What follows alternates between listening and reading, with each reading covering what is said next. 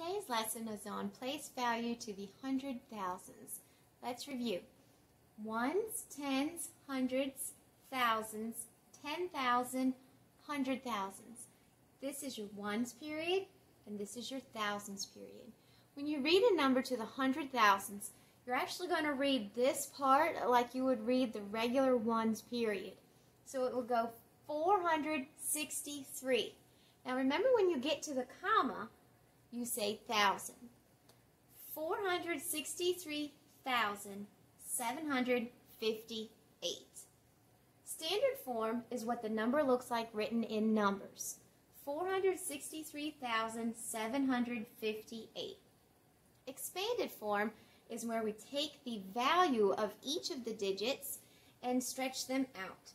The 4 is in the hundred thousands place, so it's worth 400,000 plus the 6 is in the ten thousands place, so it's 60,000 plus the 3 is in the thousands place, so it's 3,000 plus the 7 is in the hundreds place, so it's 700 plus 50 because there's 5 tens plus 8 because there's 8 ones.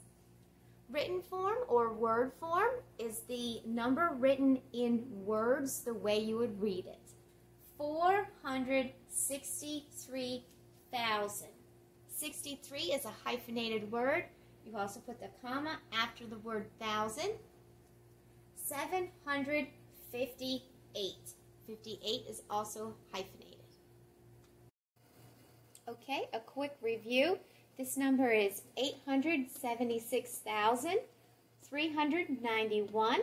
Remember when you read a hundred thousands number, you read this part together, then you say thousand, then you read this part. 876,391. I'm going to underline a digit. I've underlined the 3. The 3, if I'm talking about place value, it is in the hundreds place.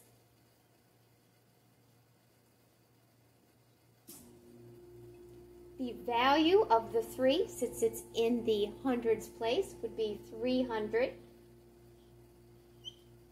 And if I were to take this number and expand it out, I'd need to go each number. The 8 is in the hundred thousands place, 800,000 plus 70,000 plus 6,000 plus 300 plus 90 plus 1.